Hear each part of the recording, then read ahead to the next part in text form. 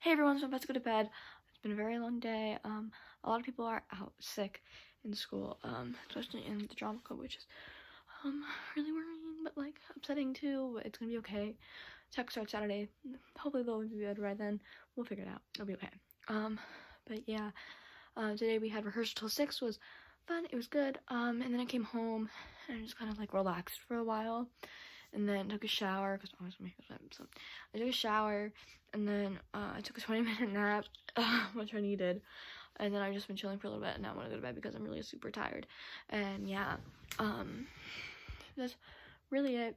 Um, obviously Love Island wasn't on, so I didn't watch it. Um, it's over. It's so sad. Um, but yeah, uh, I don't really know what else to do. So um, yeah, I was just kind of chilling on Instagram, watching some YouTube.